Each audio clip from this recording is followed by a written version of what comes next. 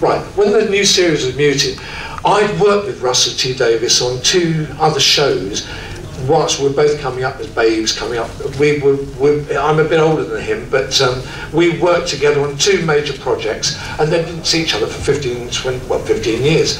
And when I heard that he was going to um, be resurrecting this, he was going to be the executive producer on it, and it was going to be his new creation, I rang him, I found his number from somewhere, and rang him and said, I would love to do Doctor I never knew that he was a Doctor Who fan. Even when we worked, I did. He never talked to me about, at least I don't remember it. He probably says that he did. I don't remember him being a Doctor Who fan, and I had worked on Doctor Who by the time I'd met him, so I found it surprising. He never talked to me, but he says he did. Right. I then rang him anyway and said, look, I, I would love to do, is, I know I'm an old git and I know that um, I'm old school and whatever you all think, but haven't even begun to do what I want to do.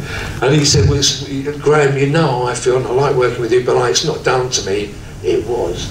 Um, it's not down to me um, because there's a bevy of other people, and um, you know I'm the executive producer. I say that it probably was wasn't down to him at that stage. He probably didn't know quite the power he can actually attain. What was brilliant for us all, everybody that works on Doctor Who, is it was his vision the new series, whether you like it or not, the overall vision of how it could be and what elements could be brought into it to make it stunning and new and uh, given a chance to be loved was all Russell's ideas and the fact that he had surrounded himself before all the directors with people, particularly the designer, the concepts, uh, the, the, the, arguments, not the arguments, the discussions of the concepts of what the new series will be must have started with him and, and Ed Thomas, the designer. Um, and I think Russell realised, not, he's not all power, I've got power and I'm going to whip you all into shape.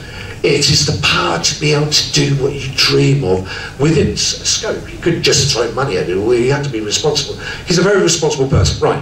I rang him and said that, and he said, well, I, it's not really down to me, but I, if I have my way, you'll certainly be in the melting pot.